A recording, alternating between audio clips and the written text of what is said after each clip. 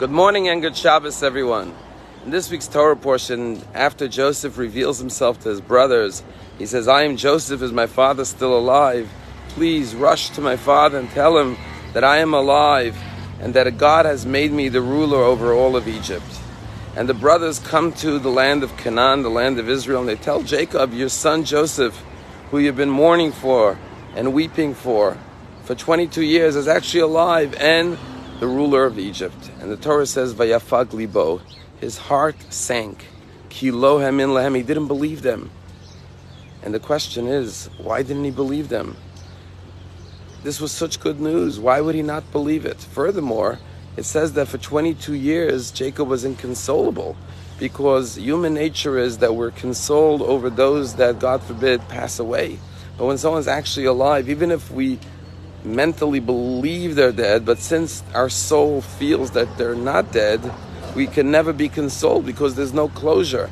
And so for 22 years he was still mourning his son, and now he hears that he's alive. Why would he not rejoice? Why would his heart sink and feel like this is not true? And it was only when he saw the wagons, our rabbis say, that Joseph sent and our rabbis explained that the wagons is not just the wagons, but the lessons of Torah that he taught him related to wagons, that he was convinced that Joseph was alive.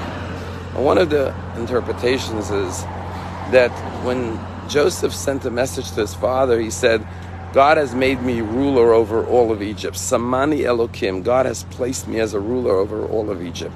But another way to read those words is Samani Elokim, I have placed God as a ruler in Egypt. In other words, what Jacob was concerned about is not just whether Joseph was alive or not physically, but whether he was still alive spiritually, whether he was still living a life reflecting those values and teachings that he grew up with in the house of Jacob and Isaac and the ancestors of Abraham and Sarah.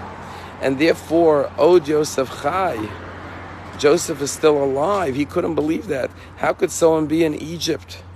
for 22 years in such a depraved country, immoral country, torn away from his family, from his Jewish roots, and still remain committed and loyal to the teachings of his family of Judaism.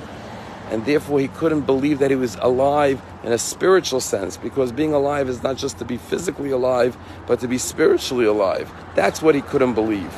Because in Hebrew, the word Chaim has God's name in the middle, two yuds. To be alive means not just to have a heartbeat or a pulse, but to be spiritually pulsating goodness and righteousness and love. And therefore, when he heard that not only was not Joseph influenced by his surroundings, but he brought and introduced godliness into Egypt, that's when he rejoiced. When he was convinced by the Dvar Torah, by the teachings that Joseph communicated to him through his children, to remind him that he still carries the teachings of the Agalot about the wagons that he had learned with Jacob. That's when his heart was elated and finally rejoiced. You know, yesterday a new government was installed in Israel, and Prime Minister Benjamin Netanyahu is once again the Prime Minister of Israel. Many years ago, when Benjamin Netanyahu was sent to be an ambassador in the UN, he came to the Lubavitcher Rebbe, and the Lubavitcher Rebbe gave him a blessing for success as an ambassador in the UN. But the Rebbe said to him, You're going into a house of lies. As we know, UN is always condemning Israel more than any other country in the world. But the Rebbe said, Your job is to light a candle of truth in the darkest hall in the world, the UN. The Rebbe said, When you go into a dark room, a dark hall, and you light one little candle, everyone in that hall can see that one light and everyone is drawn towards that light.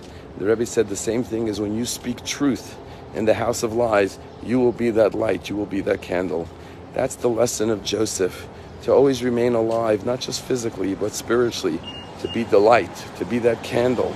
And even though you think I'm just one little candle, but in a house of lies, in a house of darkness, in a world filled with confusion and darkness, your light will radiate far and wide will be seen by everyone, and everyone is always drawn to the light. Have a wonderful Shabbos.